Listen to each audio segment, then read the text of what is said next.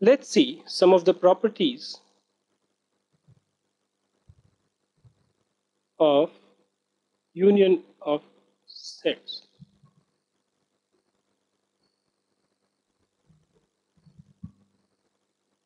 Property number one. This property says A union B is equal to B union A and is known as the commutative law. Now, you would have seen all this in your rational numbers and everything, your addition and multiplication for integers and all. Now, what does this mean? I will reflect this to you through a Venn diagram. I'm not drawing the universal set, but let's call this as A and this as B. We know that A union B is basically this shaded area right now if you ask me what is the common area if I were to say B union A? Even then this is the common area. Let's say suppose you had 1 2 3 is equal to A and B is equal to 3 4 5 so what will be A union B? A union B will contain all the elements of A which is 1 2 3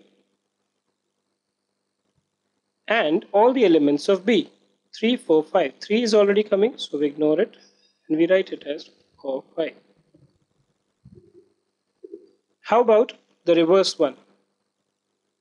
B union A. So I'll write everything which belongs to B. Union A. So we add everything from A. 1, 2, 3. So 3 I don't write. Now if you see the two of them, both of them are equal. Why? Because this is what we saw earlier that if the elements contained in both the sets are common let's say each element of A is present in each element of B and B each element of B is also present in each element of A then both the sets are equal. A is equal to B. So therefore A union B is equal to B union A Let's see the second property. A union B union C is equal to A union B union C. Again,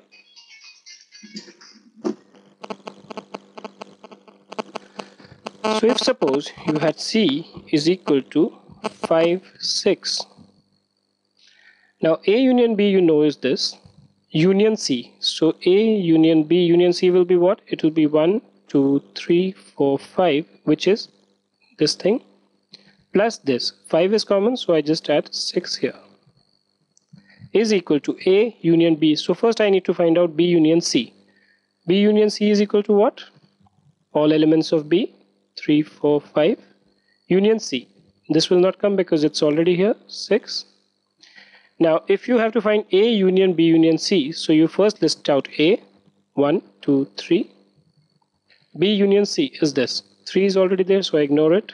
4, 5, 6. So both of them are equal, so this law also holds good.